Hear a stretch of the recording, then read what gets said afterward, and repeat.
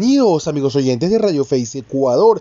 Les saluda a su amigo Jorge Bonilla en este espacio de Face Express. El día de hoy con lo mejor de información les tenemos. El inmenso pavor, el miedo, el terror que se apodera del señor Carlos Vera al retorno del correísmo. Y no hay que olvidar que el día que se ganaba Arau se iba del país a hecho y estragos en el Señor y ha salido que estraga a declarar y más que todo a comunicar que hay fraude directamente en estas últimas elecciones sin ni una sola prueba. Esto puede desembocar en algo muy fuerte porque recordemos que si todo sigue configurando, muy pronto el correo tendrá otra vez el poder y él pues sancionado de una manera bastante ejemplarizadora, pues él está promoviendo la anarquía para que directamente sin ninguna sola prueba se dé más que todo el lujo de que se dude de un proceso electoral acompáñanos a ver qué es lo que está pasando con el señor Carlos Vera, porque tenemos mucho por contar. Por favor, suscríbete al canal de YouTube, déjanos tu buena y activa la campanita. No nos enrollemos con el tema y vamos yendo a la información. Yo en cambio me voy a aventurar, porque mi experiencia en este tipo de procesamiento de datos y de elecciones me deja claro que el correísmo está de vuelta, que es el gran triunfador. En Guayaquil y en Guayas ir hasta el momento con esos niveles de preferencia sobre la fuerza hegemónica que ha sido el PSC es inédito. En Manabí ha ratificado la preferencia para la prefectura hasta ahora. En Pichincha, su candidata a la prefectura va punteando y su candidato a alcalde va primero. En la ciudad que tanto lo había rechazado antes, aunque era un momento su bastión. Manabí sigue siendo su bastión y se han tomado Guayas y Guayaquil. Vemos que en Azuay también les ha ido muy bien. Nos vamos a seguir negando una realidad, me la voy a negar yo porque sea contrario absolutamente a esa tendencia y la combata. Ah, ah. Creo que hay un triunfador hoy y es el correísmo. ¿Por qué? ¿Qué lo motivó? ¿Por qué se dio? Es una cosa que podemos analizar después. Creo a la vez que la gente es tan sabia que ha sabido separar y diferenciar las bondades de la consulta de la impopularidad y rechazo del gobierno. Y creo que si alguien tiene que marcar la tónica de un cambio de rumbo urgente, es el Ejecutivo. Como decía María Clara, ojalá entiendan la lección y ojalá los rechazados aprendan el mensaje. Mil gracias a todos ustedes por acompañarnos. Hoy de noche, eh, no sé con qué vendremos mañana, María Clara, pero seguramente será el capítulo 2, ya con más datos finales de este apasionante giro que ha dado el Ecuador. A mi manera de ver en el sentido equivocado, pero hay que ver por qué el país volvió a insistir en regresar a lo que hace apenas dos años habíamos derrotado.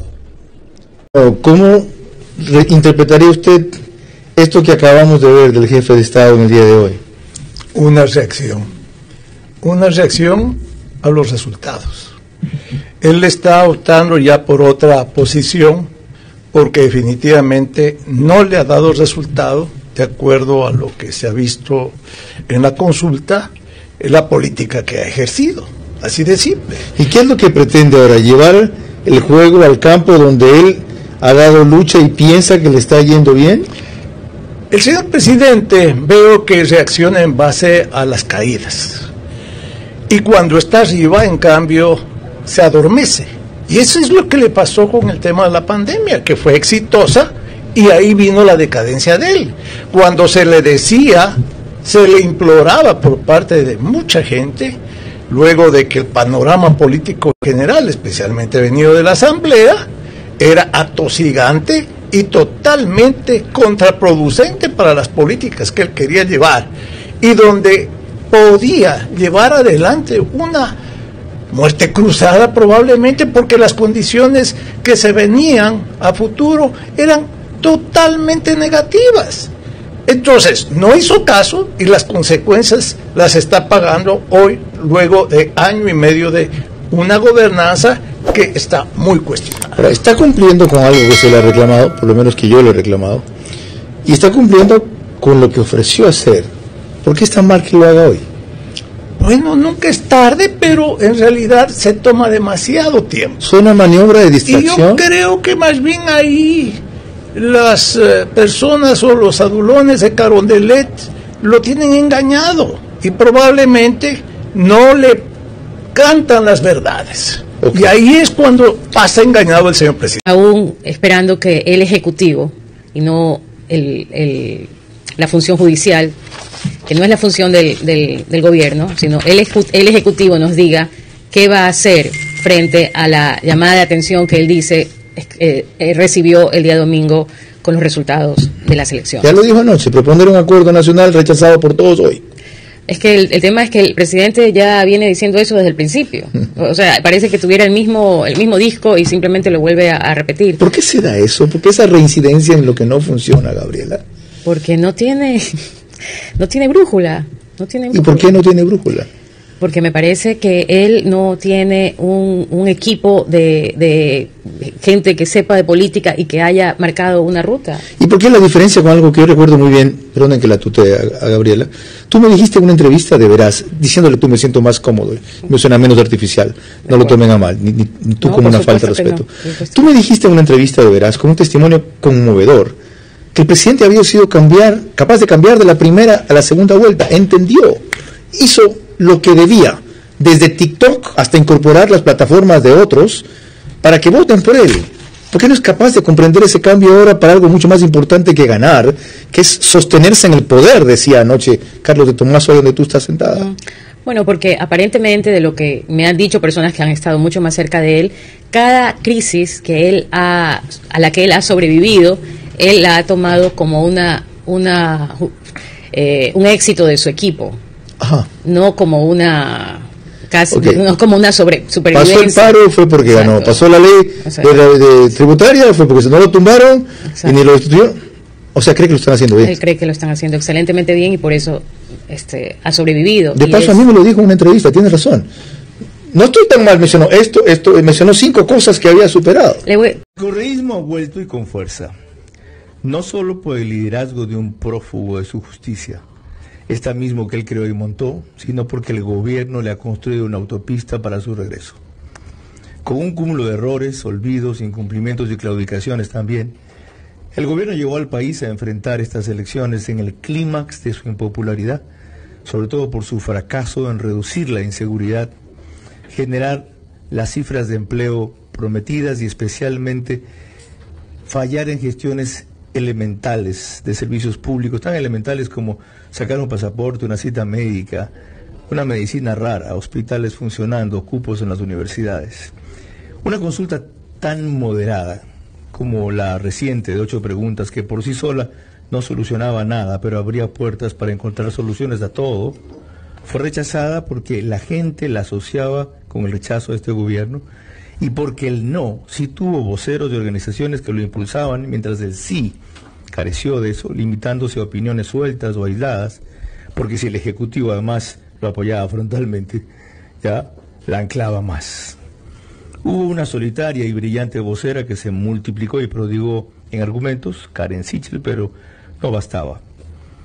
El pueblo votó por el sí que se logró, el pueblo que votó por el sí que se logró fue básicamente por parte de adeptos de la clase media hacia arriba. Las piezas aisladas de comunicación a su favor carecieron de la creatividad y emotividad de las que tenían las opositoras. En definitiva, buena propuesta en mal momento. Norma básica, no lo entendieron. Se los dije, se les dijo que la hicieran antes o después. Pero el pobre argumento para mezclarla con las elecciones fue ahorrarse 60 millones de dólares. ¿Qué costaría hacerla por separado? Óscar Ayerbe, quien ha sido candidato al Consejo de Participación Ciudadana y Control Social, para ampliar lo que ayer empezó a trascender, que no solo hay actas inconsistentes y en un número preocupante, sino que hay un fraude transversal. Mañana va a ser parte de algunos eh, candidatos que darán una conferencia de prensa sobre esta materia, entre ellos eh, Juan Esteban Gorderas. Eh, además, participará esta noche por Zoom Blasco Peñarrera Solá de Market y Germán Rodas, quien es presidente de la Comisión Anticorrupción. Luego estas declaraciones prácticamente insinuando un fraude, el señor Carlos Vera comete un error grosero en el cual insinúa más directamente que existe un entorno en el cual se está haciendo fraude electoral y que pide un reconteo del sí Llegando en la pregunta 1 y en la pregunta 3, según sus expectativas y según lo que él estaría ratificando, lo que no es consciente es que tanto es su miedo, su temor al correísmo y a la tremenda paliza que le dio al legislativo en estas últimas elecciones, que no es consciente de que esta situación y esto que está haciendo lo puede llevar a enfrentar consecuencias legales y hasta puede terminar en la cárcel porque está citando públicamente ha caído un fraude que incurran manifestaciones muy fuertes. Señor Vera sabe que se le acaban los primeros privilegio, la seguridad privada y todos los lujos que está acostumbrado con este gobierno. Pues justamente ve cómo se le hace agua al ver que la gente apoya mayoritariamente a todo lo que tiene que ver con el progresismo. Esto no le agrada para nada, por eso comete estos errores tan brutales en los cuales él sabe que esto puede ser penado, que no puede hacerlo de forma tan de lengua suelta y que más que todo exponiéndose a que más adelante reciba una sanción ejemplarizadora, porque esto es penado hasta con cárcel. Sin embargo, él trata de, ajustar la balanza para que sea beneficio del banquero y así le dure un poco más tiempo su poder que tiene ahora en el mandato. Por ahora, ahora con estas novedades y con este error que comete Vera, que lo puede llevar tras la reja, es como despedimos el programa. Por favor, regálanos el like, suscríbete al canal de YouTube y sigue toda esta red. Y por favor, sigue conectado porque tengo mucho más que contarte con todo esto que está pasando en el país. ¿No, mis amigos? Chau, chau, chau, chau.